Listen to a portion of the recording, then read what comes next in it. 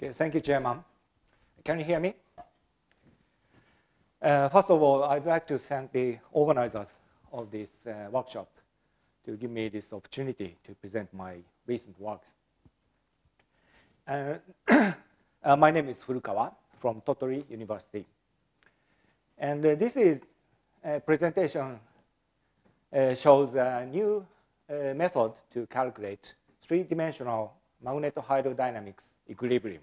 Equilibrium is a force balance state or stationary state of the evolution equation.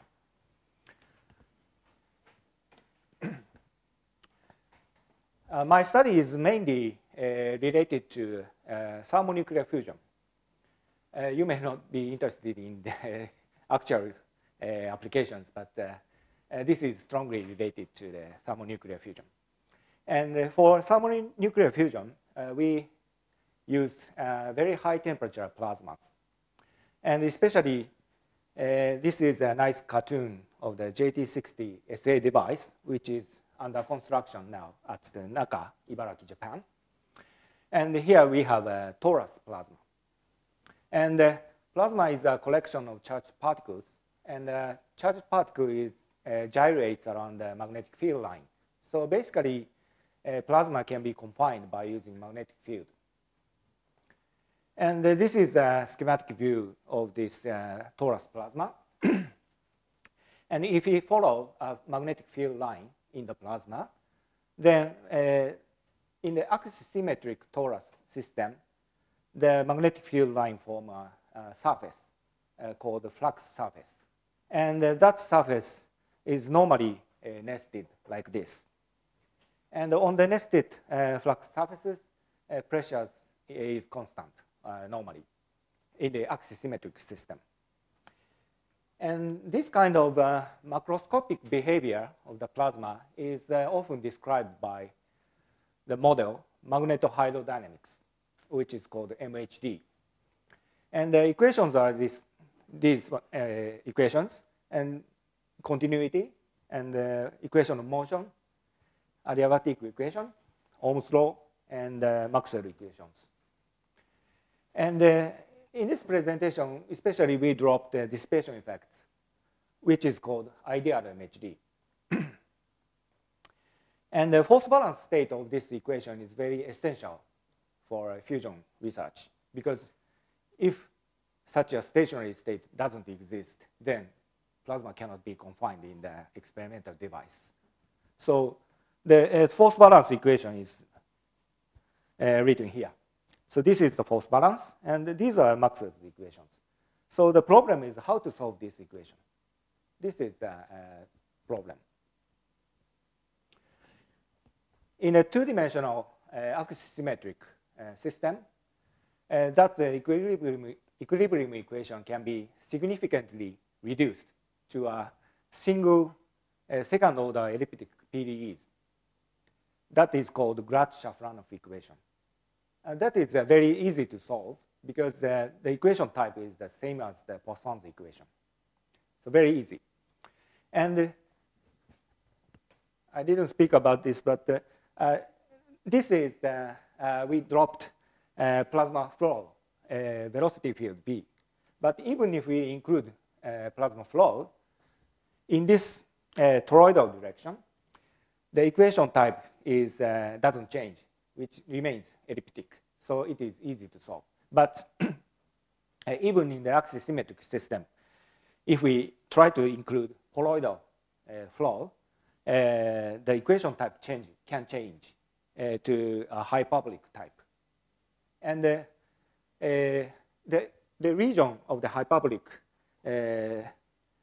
type is some part, and some part is still remains elliptic.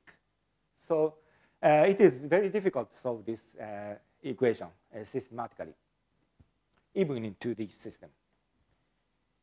And if we go to 3D, the problem uh, becomes much more complicated. And uh, in the world, there are several uh, famous numerical code to calculate such an equilibrium, but they assume something. for example, VMEC code, which is probably most used uh, code in the world. And it, uh, that assumes uh, existence of the nested flux surface. But uh, this kind of nested flux surface is uh, guaranteed only for some symmetric system, like axisymmetric system. Uh, because the, in the three-dimensional system, magnetic field line uh, is not integrable in general. So this kind of uh, uh flux surface uh, doesn't exist in general.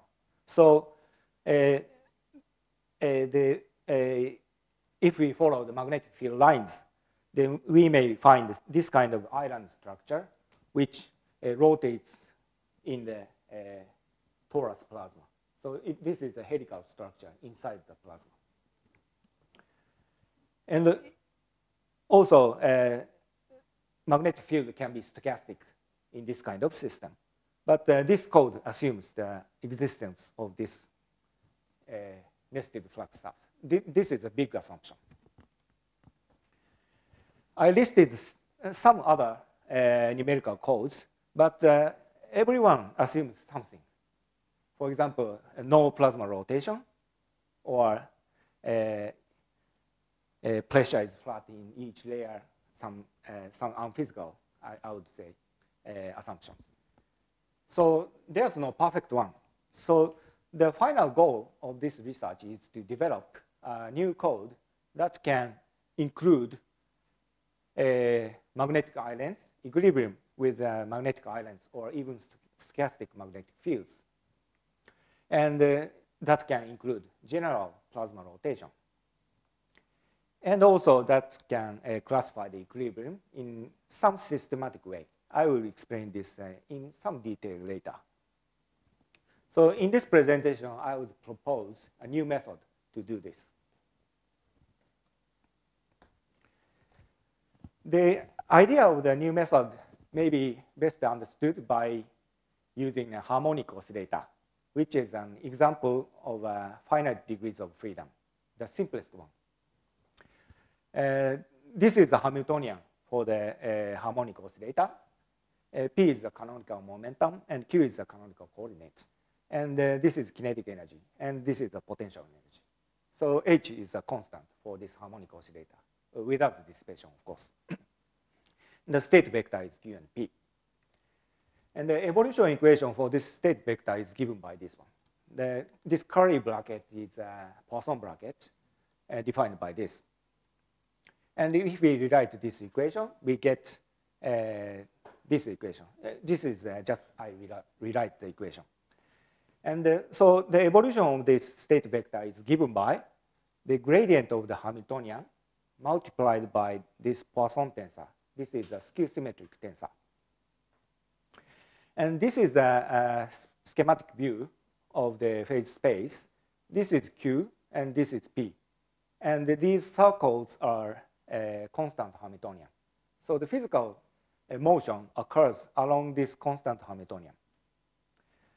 And uh, this vector field is uh, firstly the gradient of the Hamiltonian, which is in this direction, red one. And the physical motion occurs in this direction. So that means this uh, role of this uh, Poisson tensor is to change the direction of this vector 90 degrees. Okay, so the idea comes. Uh, if we uh, consider an artificial dynamics where the Poisson tensor is operated twice, what happens? Then uh, the direction of this vector uh, changes 90 degrees twice. And uh, the motion occurs in this direction, the blue one. Okay.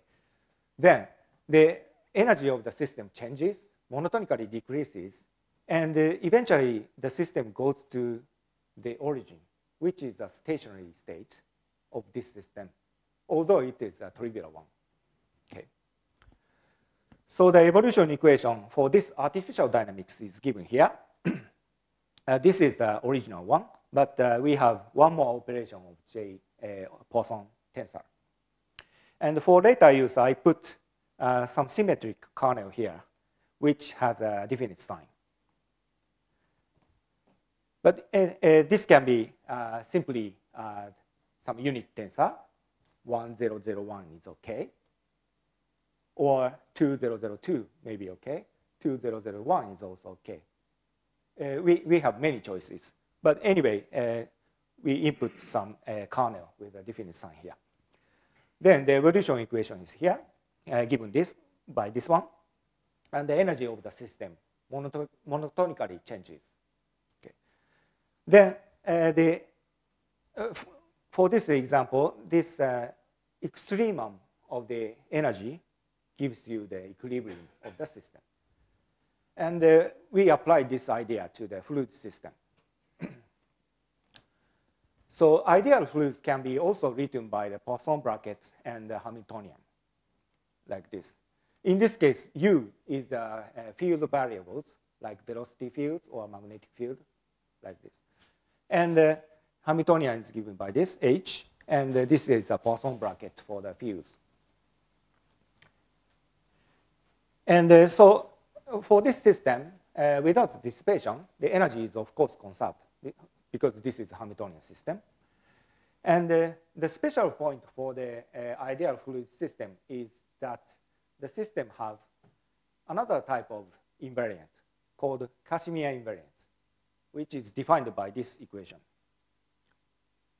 So for any functional f, the Casimir invariance is a null space of the Poisson bracket. Okay. So example is an entropy in the 2D ideal fluid or magnetic helicity in the ideal MHD. Because of the existence of this Casimir invariance, the stationary state have a, some rich structure not the you know, trivial stationary state. so how to construct this artificial dynamics? Uh, in this paper, uh, the artificial dynamics is uh, very much uh, explored. And the system, evolution of the system is given by this double bracket, or we call this symmetric bracket, which is defined by this one or definition of the double bracket is given here. And uh, this is the evolution equation for the finite degrees of freedom example. So we have the original system and one more operation of the Poisson bracket, and we put input some uh, symmetric kernel here. So the structure is uh, exactly the same. This is the original dynamics. Uh, this is the physical original dynamics. And uh, we have one more operation with the Poisson bracket, and we input some symmetric kernel, just like this. And because of this uh, bracket dynamics, uh, time evolution of any functional f is given by this uh, double bracket between f and Hamiltonian. Okay. So if we input Hamiltonian itself here, then it gives you this equation. And uh, because the Poisson bracket is skew-symmetric, and we have here and here, and this is a kernel with a definite sign. So this right-hand side is non-positive. Then, uh, if the Hamiltonian decreases monotonically, and it goes to the dH dt equals zero. In that case, uh, this Poisson bracket between the dynamical variable and the Hamiltonian must be zero. And this is exactly the stationary state of the original system. So this gives you the equilibrium. how about the Casimir invariance? Uh, this is the time evolution of the Casimir invariance, and C is the input here. And this is the according to the definition.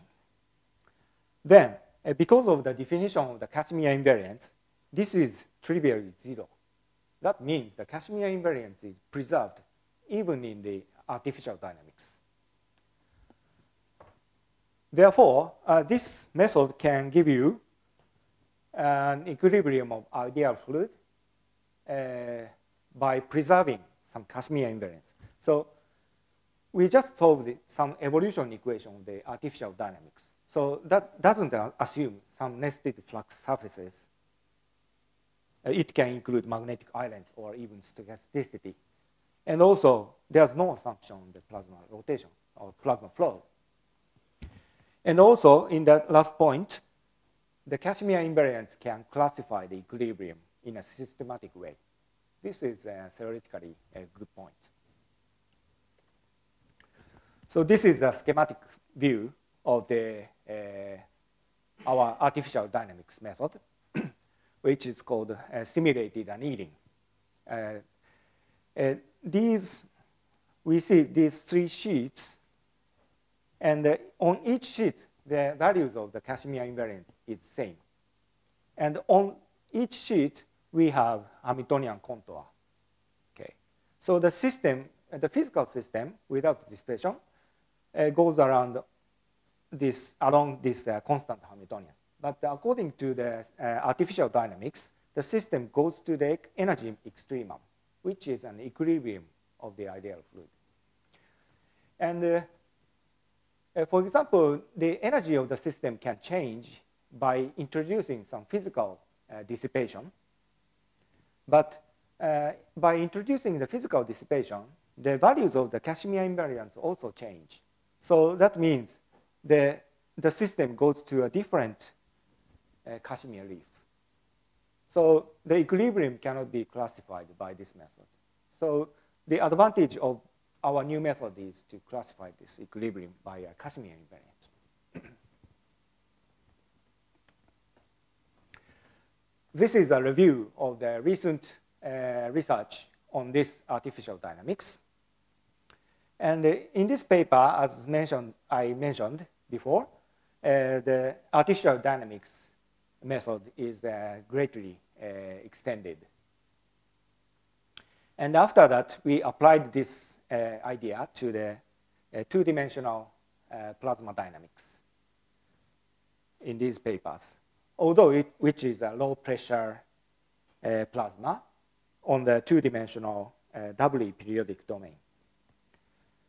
And uh, recently, we have extended this uh, method to the three-dimensional system, although the pressure is still low.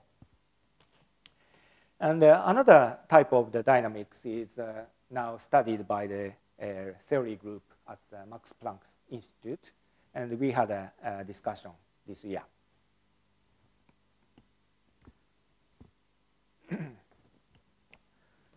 so in the following, uh, I'm using the, this uh, so-called uh, low beta reduced MHD. Uh, low beta means the low pressure, so pressure is dropped. And reduced means this is greatly reduced from the original MHD.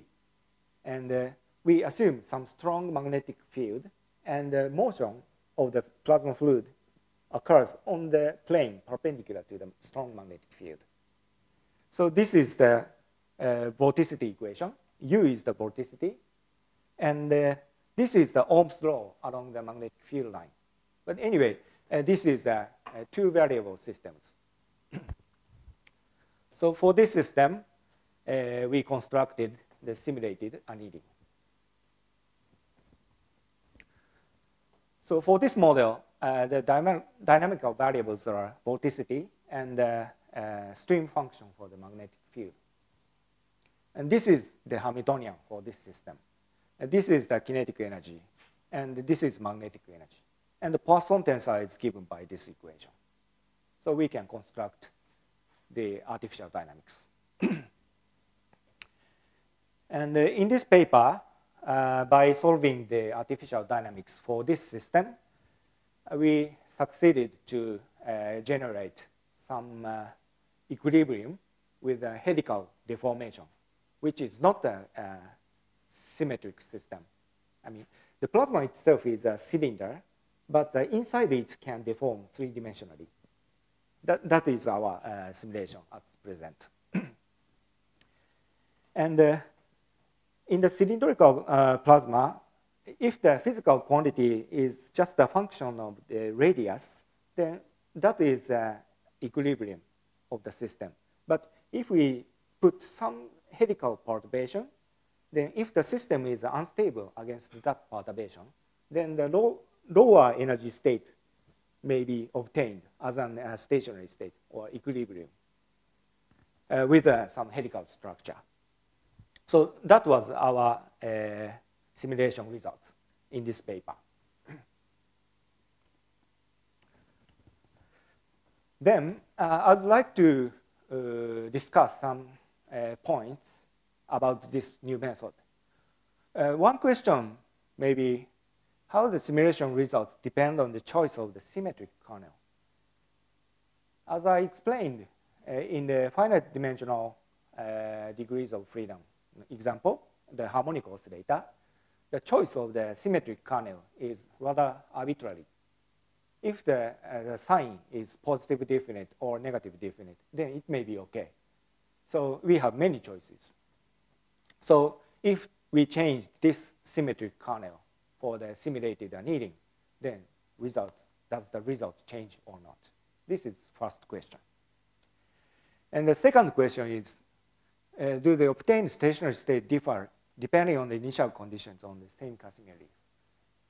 So as I showed you the schematic picture of the simulated annealing, uh, on the same uh, Casimir leaf, the we give the some initial condition, then the system evolves according to the artificial dynamics. And if we reach the same energy extremum, then which is uh, that is uh, uh, equilibrium.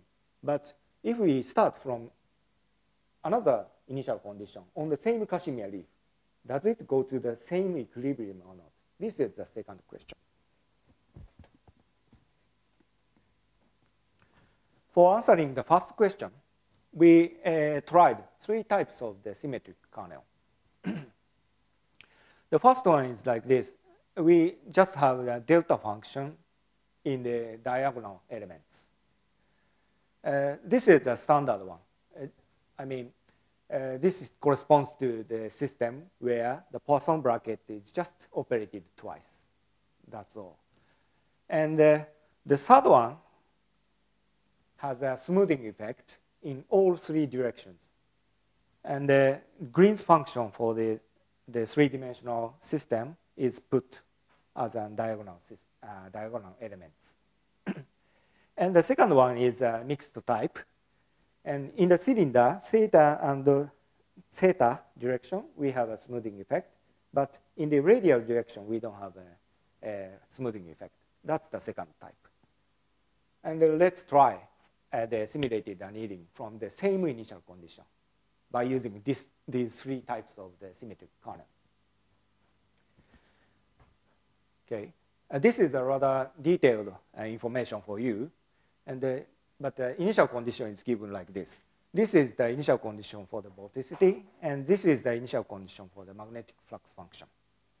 And for the magnetic flux function, we have a cylindrically symmetric state which is already an equilibrium, but we input some helical perturbation here.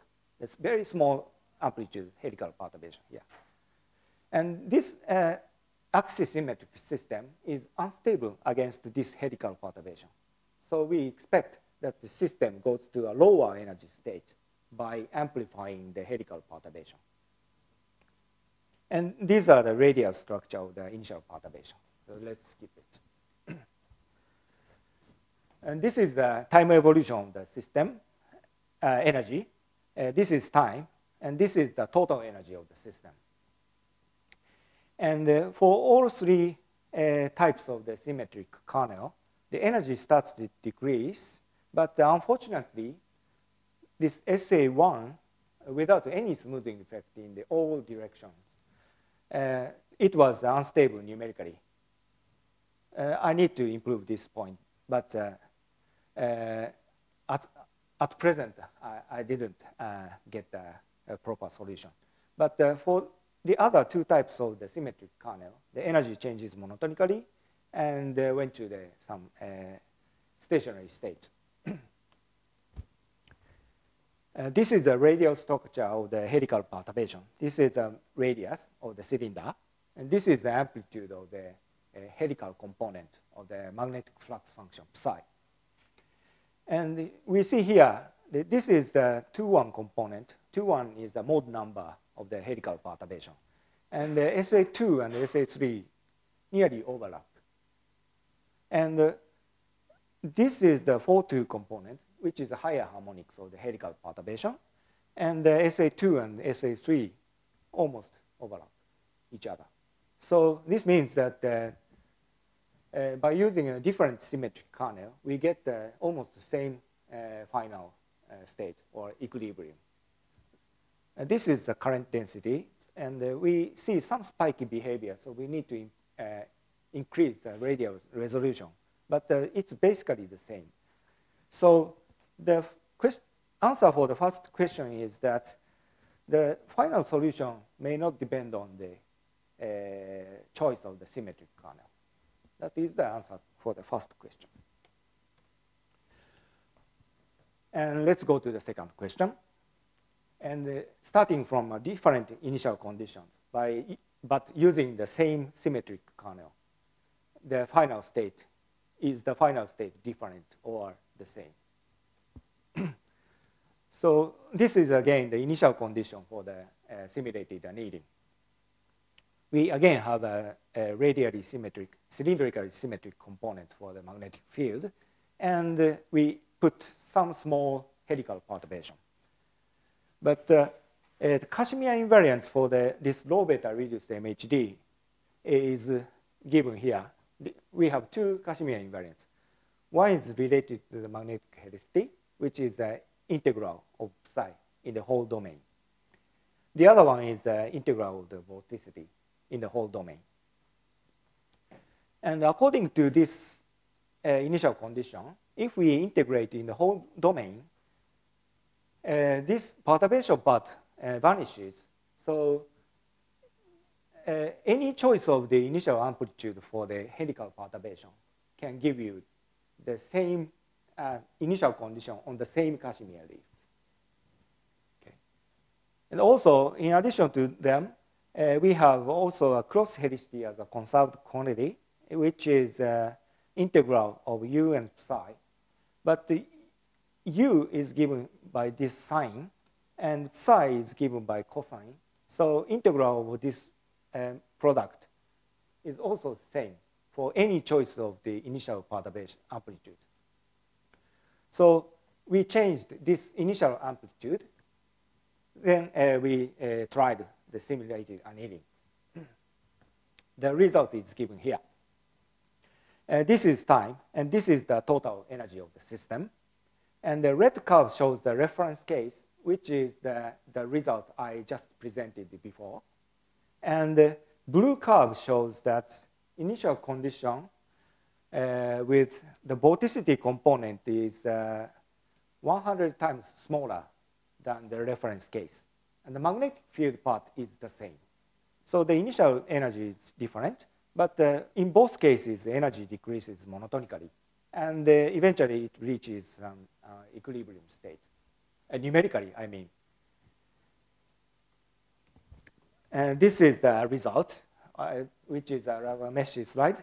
So this is radial uh, coordinate, and this is the amplitude of the helical uh, component of the magnetic uh, flux function. and here we have two curves, and the 2-1 component uh, of the helical uh, perturbation of the magnetic field. And there, they overlap each other. But this 4-2 component, the higher harmonics component, is uh, different at the final state. And this is the current density. Also, the 2-1 components, the dominant harmonics is the same, but the higher harmonics is different. So the answer to the uh, second question is that the final state may be different, starting from the different initial condition on the same Casimir leaf. So let me summarize my talk. Uh, I, in this presentation, I proposed a new method to calculate three-dimensional MHD equilibrium, which is based on the Hamiltonian field theory. and uh, I developed a numerical code to get the uh, equilibrium with a helical perturbation of a cylindrical plasma by using the low beta reduced MHD model. And uh, I tried uh, three types of the uh, symmetric kernel for the uh, artificial dynamics. And uh, unfortunately, one of them was, was un un numerically unstable, but uh, two of them gave the, almost the same result, starting from the initial condition. And for the second question, uh, starting from the different initial condition on the same Casimir leaf, then the equilibrium obtained may be different. That's all. Thank you very much.